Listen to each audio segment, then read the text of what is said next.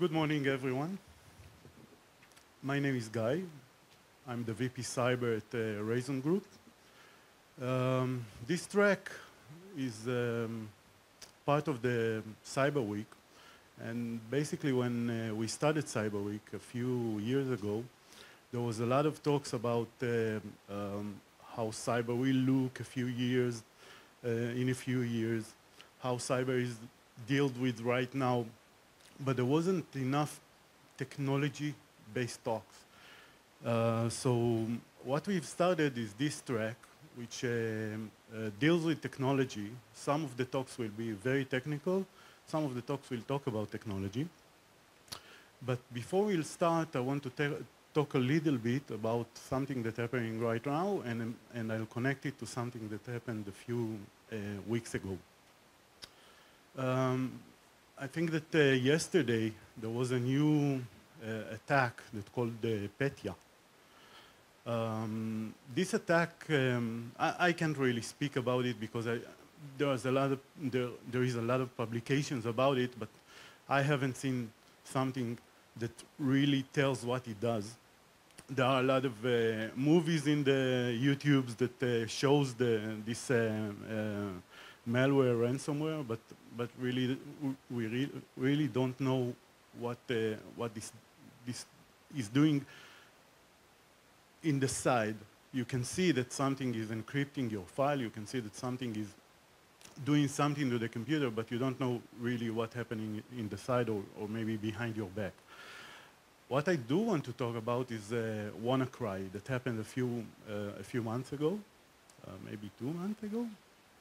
Um, WannaCry was a um, ransomware, um, revolutionary ransomware that uh, had uh, some very nice pieces of code that uh, maybe the NSA wrote and, and leaked.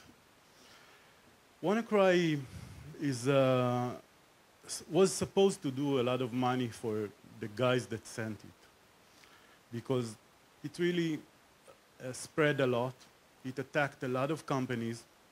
And if you think about this kind of attack, this, as a criminal, this is the thing that I want to do. I want a good malware, a good ransomware that will spread very quickly, infect a lot of computers, infect a lot of companies, and then it, it will give me a lot of money. And if you think about this kind of ransomware, you think about millions of dollars of revenue for the writer of the code. And when you see that this uh, ransomware only made about $80,000, I think that writing this uh, piece of code took a lot of a lot of more money to write it.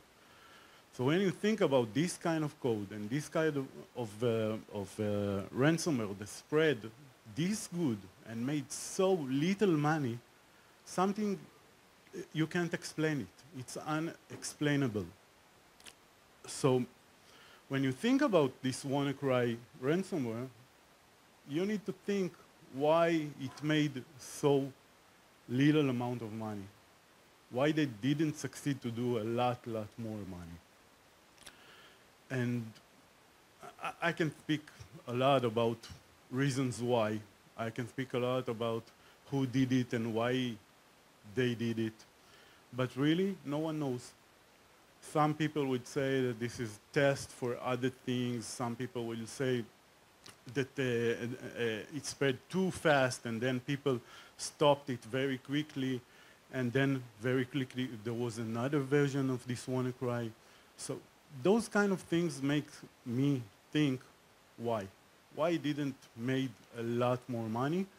And that's the point where, where all the conspiration theories comes. So I will not give you the conspiration theories, you can find them online, but uh, I do want you to think that things like a lot less sophisticated, like Zeus and like other Trojan horses, made hundreds of millions of, of dollars. And this sophisticated piece of code make only 80,000. And no one can explain why. The first speaker here will be Yigal Unna. Yigal Unna is the Chief Executive Director of the new cyber technologies unit in the Israeli National Cyber Directorate. In his previous position, he served as the head of the SIGINT Cyber Division in the Israeli Security Agency, the Shin Bet. Um, his responsibility was national uh, responsibility of cyber defense, critical infrastructure security, intelligence collections, and operations. Yigal.